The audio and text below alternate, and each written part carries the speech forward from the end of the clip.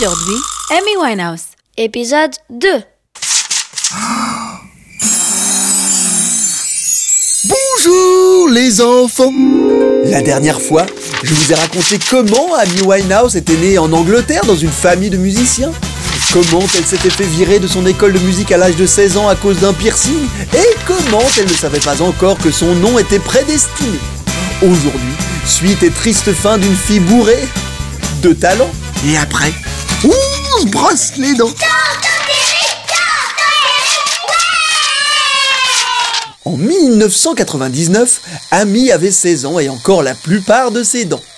Un copain d'école du nom de Tyler James envoya une cassette d'Amy à une maison de disques et ça tombait bien, car celle-ci cherchait justement une chanteuse de jazz, rhythm and blues, mais jeune, pour remplacer les vieilles.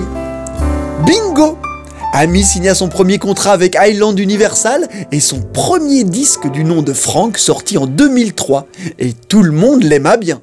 Mais très rapidement, la belle amie imposa sa personnalité pour le moins originale en apparaissant régulièrement trop saoule pour pouvoir chanter ou même tenir debout sur scène. Oh, c'est dommage En 2006, la maison de disques d'Amy voulut l'obliger à régler ses problèmes d'alcool en faisant une cure, rehab en anglais.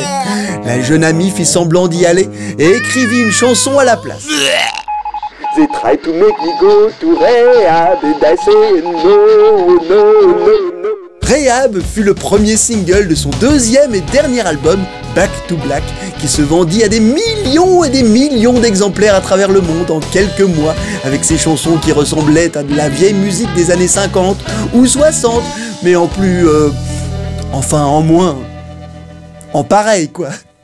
Notre jeune héroïne, oups, lapsus, continua à donner des concerts tout foutus et à se faire huer par ses fans tellement elle n'arrivait pas à chanter. Oh, c'est rigolo Elle eut tout de même le temps de se marier avec son dealer, Blake Fielder Civil.